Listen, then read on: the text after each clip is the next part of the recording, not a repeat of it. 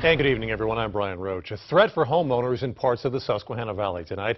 The emerald ash borer insect is assaulting trees, and it may be too late to save many of those trees.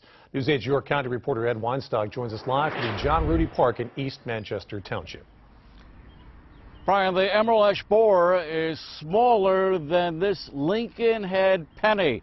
But when it comes to ash trees like this one behind me, that little bug packs a big punch. It'll kill almost every ash tree unless something's done. Mark Spangenberg is a horticulturist and an arborist, and he's seen what the emerald ash borer can do to trees in York County.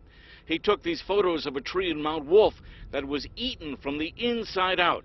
The insect munches away on the inner bark and cuts off the supply of water and nutrients that the tree needs to live. See, that bark that I uh, tested you could just peel it right off. Diane Olson with the Penn State Cooperative Extension Service keeps an emerald ash borer in a specimen jar. She also has samples of the infected bark. She says it's likely the bug will continue to spread across the Susquehanna Valley.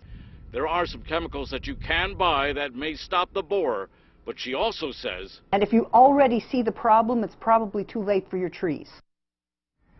Ash trees are pretty tough. In fact, some of the wood is used to make baseball bats.